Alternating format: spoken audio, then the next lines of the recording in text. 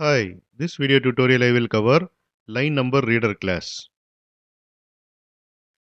Here you can see the file, here you can see the Java application.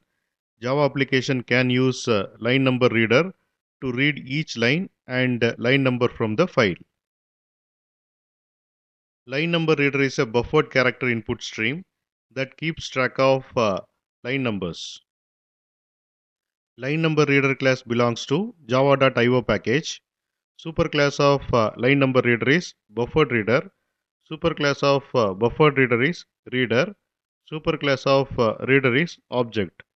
Line number reader class implements closable, auto closable, and uh, readable interfaces.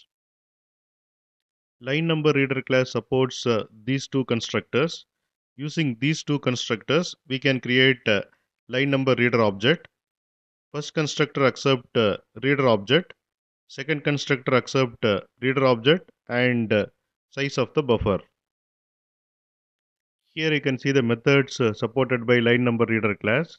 Get line number, mark, read methods, read line, reset, set line number and skip methods.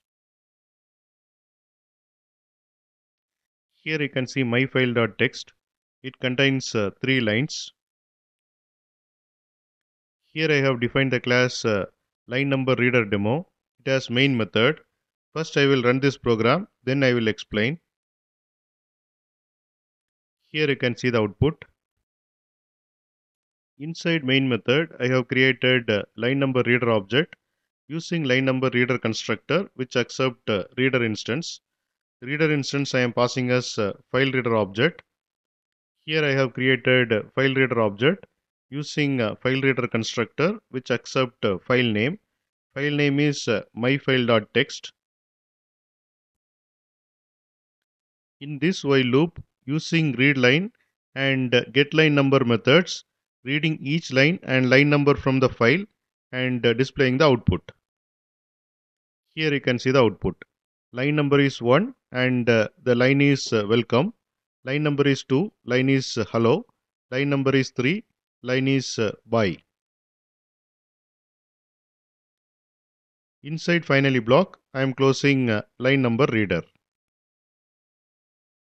And uh, this is about line number reader and thanks for watching.